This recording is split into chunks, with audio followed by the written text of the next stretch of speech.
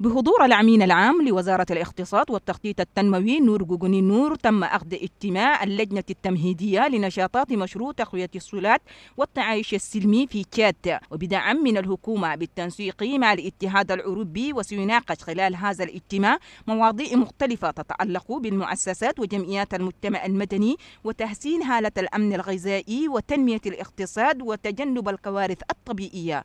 وخلال هذا الاجتماع قدمت العديد من الكلمات من بينها كلمة ممثل المشروع وممثل الاتحاد الأوروبي والمستشار الفني لمشروع تقوية السلات والتعايش السلمي في تشاد والتي استهدفت جلها أهمية هذا المشروع في تنمية المجتمع.